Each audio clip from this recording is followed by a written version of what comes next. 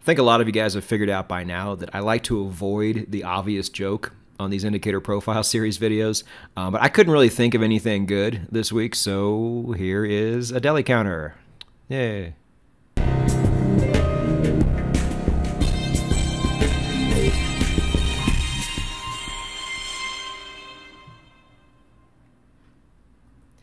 It is the Deli indicator, uh, more specifically the Ehlers Deli indicator. Yes, this is another John Ehlers' piece of work.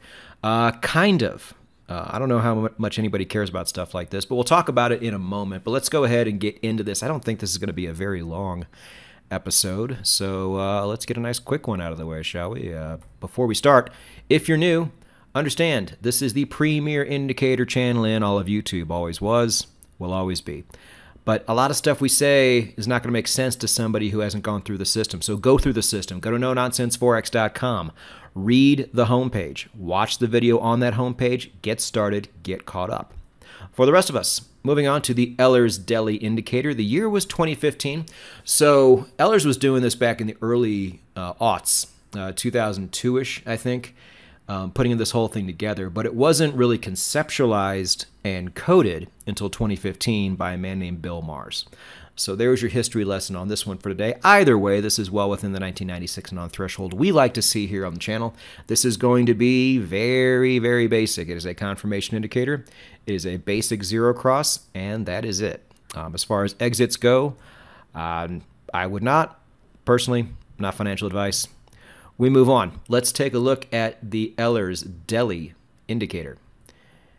Super duper exciting. It is a zero cross. So if anybody has completely forgotten how to trade the no nonsense Forex way, once price, I'm sorry, yeah, once this line crosses and closes above the zero line, that will be your signal go long, and then vice versa when you go short. Pretty darn easy. The example looks pretty good. You know, we have a a loss there, but nothing a good algorithm couldn't fix, most likely. Uh, so let's go ahead and see how this thing performs. Uh, before we do that, as always, understand how you see it perform here doesn't really mean anything. You must test it in your own system. That means everything. So don't get too excited if you see great results. Don't get too let down if you see less than great results. Um, it all matters how it does in your system. Now, also know down below is where the real gold is. We give you my automation blog that has an embedded video on how to test this yourself on the MT4 Strategy Tester. If you want this for MT5 or TradingView, you just need to run a Google search for this indicator on that platform and then type the word download after it, and you can see if it's there. It might be, it might not. And as always, the blog, uh, which gives you everything you need to know. This this indicator is really interesting. I suggest you go to the blog. It's um, it has aspects of indicators we're already familiar with, like the MACD, like the DSP, which we've profiled here. Uh, really cool, but it it's also just has one setting that you need to tweak. Um, at the end of the day, the the back end of it seems to be fairly complex. The front end of it, super simple. Um, so all you indicator nerds out there, go check that out. And also know that there is a second supplementary part to the indicator profile series, and that's going to be the video for this indicator that you will see on Dan's YouTube channel. So if you like what you see here, you want to know more, you want to see it move in real time to show that it doesn't repaint, you know, all that kind of stuff, then immediately after this video, go to Dan's channel and check out the supplement video for it. And then we also give you the secondary email address where you can supplement indicators for this show yourself. We've already done two so far. We will certainly be doing more in the future.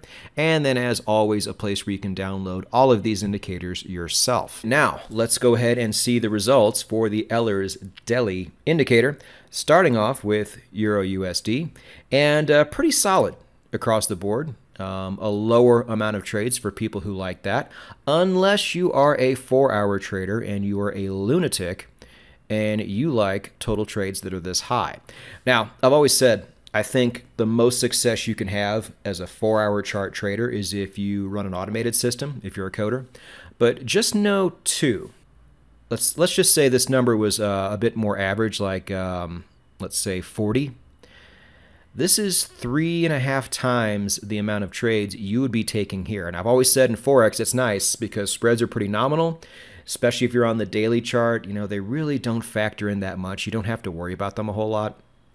But if you're tripling your workload on one pair, You know, what does that look like if you trade 28 pairs or 36 pairs? Spreads and commissions and fees and stuff like that may start to actually matter for the first time. So, for those of you who like to trade a lot or are okay with this being your amount of total trades, let that be your lesson for this week. Don't forget that spreads are a thing and they don't have to matter if you don't want them to. But when you're trading this much, that many times over, they're probably going to factor in. So do the math. Uh, but let's move on to gold, where we see very good results on the daily chart. Uh, we've seen this before. You know, performs you know okay, pretty decent in forex, but once you get to a pair like gold, you see a dramatic difference, and that's what we see here. Four hour again is goofy. You know, after the maximized tweaks, we've only come out with eight trades, which is a uh, the absolute opposite of what we saw before. So take that for whatever it is. I don't trade the four hours, so I can't really speak on it, but there you go. Moving on to the S&P, this is strong. Excellent win loss ratio. Of course, you're going to get that sometimes when you have lower trades like this, but the lower trades are nice if you just want to trade indices and not have to mess with it a whole lot. But you're getting what amounts to pretty much the average of the S&P every year, which is a big deal. It's called the benchmark. Very expensive, high dollar firms all over the world attempt every year to beat the benchmark, and most of them don't do it. But you can do it with one indicator. I keep mentioning this because I don't think people understand the significance of that. People line up and pay millions and billions at the end of the day of dollars to these firms to beat the benchmark by a couple of percentage points. What could you maybe charge someday if you show that you can also beat the benchmark by a couple percentage points or even more? Something to think about. But let's go ahead and round it off with Bitcoin as we always do, and you're going to see decent results here. Uh, not knock your socks off results like we've seen with some of these, but I mean, who's mad at 18%? I'm not.